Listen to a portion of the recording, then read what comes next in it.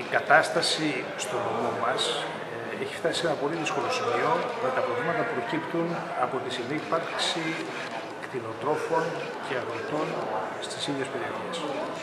Από παλιά υπήρχε το θέμα, έχει να κάνει και με τη δομή της αγροτικής μας οικονομίας, ε, αλλά αυτή τη στιγμή τα πράγματα έχουν ξεφύγει σε κάποιες περιοχές, σε κάποιες συγκεκριμένες περιοχές του νομού και πιστεύω ότι χρειάζεται όλοι οι εμπλεκόμενοι να κάνουν κάτι παραπάνω.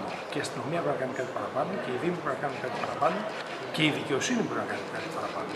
Γιατί έχουμε ακούσει πάρα πολλά περιστατικά, ε, στα οποία ο κοινός νους, αυτό που καταλαβαίνει η κοινή γνώμη, θα προϋπέθεται, θα οδηγούσε σε παρεμβάσεις της δικαιοσύνης.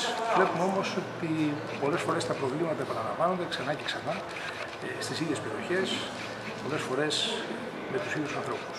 Θα ακούσουμε το Δήμο Κισάμου που συγκάλεσε την ε, σύσκεψη. Ε, πιστεύω όμως ότι όλοι, όπως είπα και πριν, πρέπει να κάνουμε αυτό που πρέπει. Η παράδοσή μας, η παραδοσιακή μας αγροτική οικονομία είχε πράγματι συνύπαρξη κτηνοτρόφων και αγροτών. Αυτό όμως προποθέτει τάξη, προποθέτει κανόνες, προποθέτει νόμους, προποθέτει εφαρμογή των νόμων. Λοιπόν, οι νόμοι πρέπει και μπορεί να εφαρμοστούν και θα εφαρμοστούν.